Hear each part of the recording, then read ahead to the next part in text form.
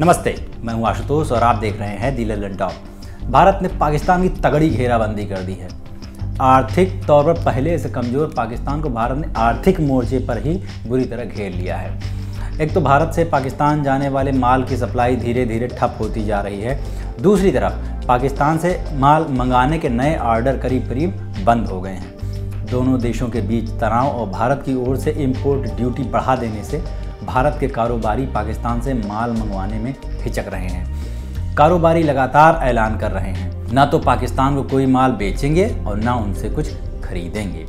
इससे दोनों देशों के बीच जो भी कारोबार हो रहा था, उसमें बड़ी गिरावट दिखने लगी है। दोनों देशों के बीच पैदा हुए हालिया तनाव का बड़ा असर कारोबार पर ही पड़ता दिख रहा है। भारत ने पाकिस्तान का मोस्ट फेवर्ड नेशन का दर्जा खत्म कर दिया है और वहाँ से सामान मंगाने पर आयात शुल्क यानी इम्पोर्ट ड्यूटी 200 फ़ीसदी तक बढ़ा दी है। इससे पाकिस्तान आर्थिक मोर्चे पर बुरी तरह घिरता जा रहा है। भारत ने पुलवामा हमले के फ़ौरन बाद उस पर आर्थिक प्रतिबंध लगाने शुरू कर दिए थे। साथ साथ देश के कारोबारी खुद भी अपनी तरफ़ से पाकिस्तान के साथ कारोबार बंद करने के पक्ष में हैं। उनका कहना है कि मौजूदा हालात में पाकिस्तान के साथ कारोबार जारी रखना संभव नहीं है। हमारा कौन सा सामान पाकिस्तान जाना बंद हुआ है?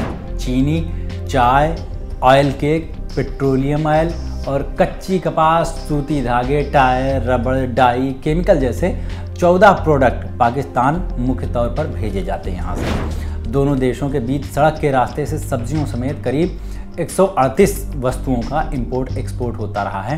पर अब आज़ादपुर मंडी के कारोबारियों ने पाकिस्तान को कोई माल न भेजने का फैसला लिया है।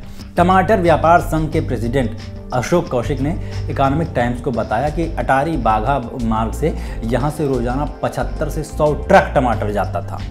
पर अब व्यापारियों ने माल न भेजने का फैसला लिया है। सब्जियों, फलों, कपास, धागे के कारोबारियों ने भी इस मार्ग से बुकिंग बंद कर दी है। और कौन सा सामान हमारे यहाँ आना बंद हुआ है पाकिस्तान से? पाकिस्तान भारत को ताज़े फल समेत 19 सामान मुख्य तौर पर भेजता था।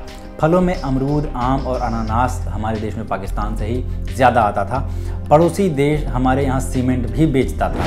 इसके अलावा खनिज अयस्क, तैयार चमड़ा, प्रोसेस्ड फ़ूड, अकार्बनिक रसायन, कच्चा कपास, मसाले, ऊन, रबड़ उत्पाद, अल्कोहल चिकित्सा उपकरण, समुद्री सामान, प्लास्टिक, डाई और खेल का सामान भी पाकिस्तान से काफ़ी आता रहा है। पर भारत ने इन सबके आयात पर एक तरह से रोक लगा दी है। असल में भारत सरकार ने पाकिस्तान से आने वाले हर सामान पर इंपोर्ट ड्यूटी बढ़ाकर 200 फ़ीसदी कर दी है। ये फैसला पुलवामा अटैक के बाद लिया गया। दरअसल एमएफएन का दर्जा खत्म करते ही भारत सरकार को पाकिस्तानी सामान के आयात पर ड्यूटी बढ़ाने का अधिकार मिल गया। इसी के बाद ये ड्यूटी यानी सीमा शुल्क बढ़ा दिया गया। किसी बाहरी देश से अपने देश में सामान मंगाने पर जो शुल्क लिया जाता है, उसे सीमा शुल्क कहा जाता है।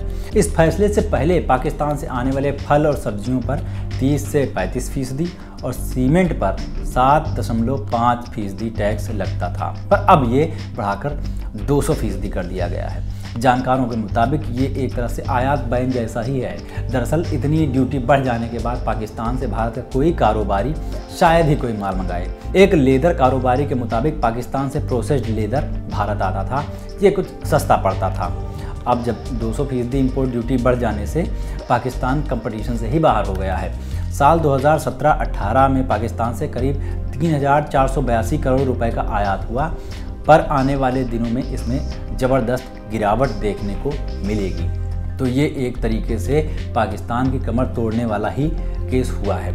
इस वीडियो के बारे में आपका क्या कहना है, हमको कमेंट करके ज़रूर बताइएगा और वीडियोस के लिए हमारे एंड्रॉयड ऐप को इंस्टॉल कर लीजिए यूट्यूब चैनल हमारा उसे सब्सक्राइब कर लीजिए और फेसबुक पेज है उसको लाइक कर लीजिए। शुक्रिया।